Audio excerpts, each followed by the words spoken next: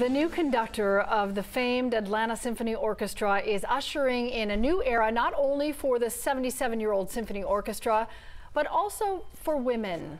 Nathalie Stutzmann is the only woman currently to lead a major U.S. orchestra and the second ever to hold such a position. She studied music in school but was often passed over for the role traditionally held by men.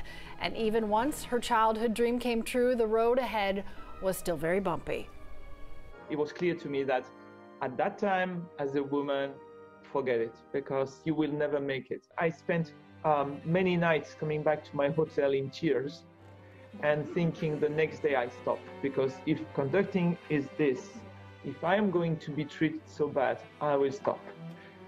And the next morning, I was going up again. Stutzmann says it's not about gender, it's about artistry and the music, but she takes pride knowing her success means other women will follow and have the opportunity to do so.